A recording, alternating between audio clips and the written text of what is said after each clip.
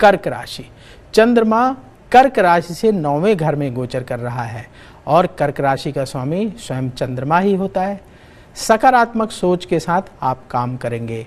आपका मान सम्मान और बढ़ेगा। धन प्राप्ति के रास्ते खुलेंगे। प्रेम संबंधों में सफलता मिलेगी।